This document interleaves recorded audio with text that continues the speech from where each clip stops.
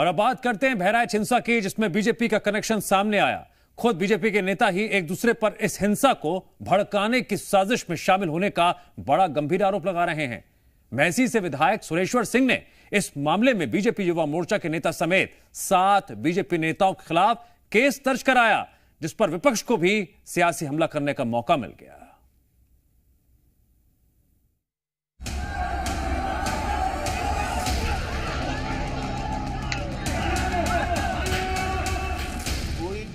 भी कानून से ऊपर नहीं है।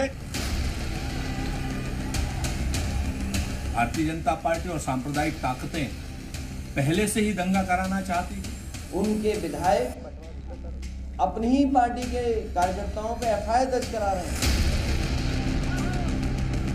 लोकतंत्र है। नेता अपनी बात या अपनी बातें कर सकते हैं।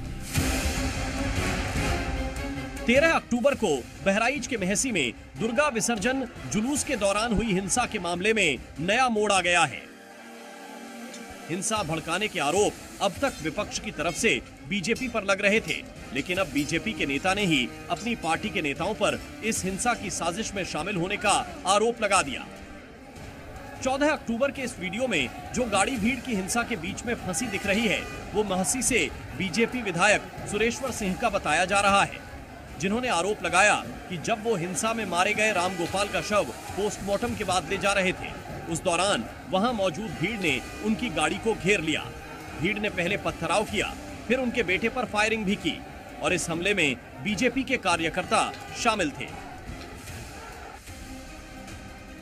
सुरेश्वर सिंह ने इस मामले में केस भी दर्ज कराया, जिसमें बीजेपी युवा मोर्चा के नगर अध्यक्ष अर्पित श्रीवास्तव समेत बीजेपी के सात कार्यकर्ताओं के नाम शामिल हैं। गाड़ी संख्या यूपी बत्तीस JP double nine double nine Isuzu गाड़ी का शीशा टूट जाता है। उक्त घटना में मेरे बेटे श्री अखंड प्रताप सिंह बाल बाल बच जाते हैं। उक्त सारी घटना रात्रि आठ बजे से दस बजे के मध्य की है। सीसीटीवी फुटेज में सारा कुछ स्पष्ट होगा। अतः मुकदमा पंजीकृत करके समुचित एवं आवश्यक कार्रवाई करने का कष्ट करें। सुरेश्वर सिंह ने ये दावा भी किया कि बीजेपी हिंसा करने वालों के साथ नहीं है चाहे वो किसी भी पार्टी से क्यों ना हो। कोई भी नियम कानून से ऊपर नहीं है। जब जो नियम कानून के तहत आएगा उसके तहत दंडित किया जाए ऐसी कार्रवाई होगी कि दोबारा इस कृत्य को नहीं करेंगे। सुरेश्वर सिंह ने अपनी ही पार्टी के नेताओं पर दंगे में शामिल होने का आरोप लगाया तो विपक्ष को बैठे बिठाए सरकार को घेरने का मौका मिल गया। उत्तर प्रदेश में दंगा कराने का काम बहराइच में अगर किसी ने किया तो भारतीय जनता पार्टी के नेता उसमें शामिल थे।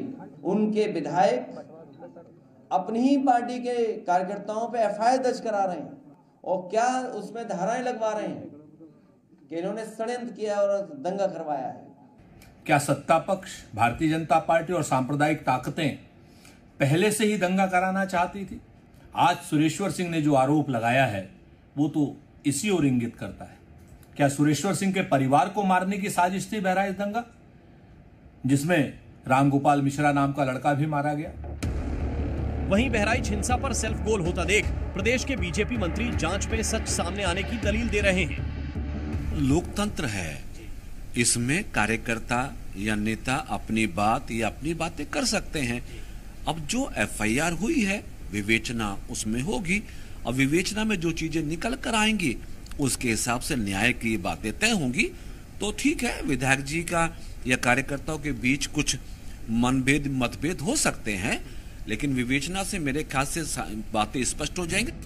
हालाँकि बीजेपी विधायक सुरेश्वर सिंह ने न सिर्फ़ अपनी ही पार्टी के नेताओं पर हिंसा में शामिल होने का आरोप लगाया, बल्कि दुर्गा जुलूस में शामिल कई लोगों पर नशे में होने का दावा भी किया, जिस पर सियासी बयानबाजी तेज है। बहराइच से राजीव शर्मा के साथ प्रीति श्रीवास्तव जी मीडिया।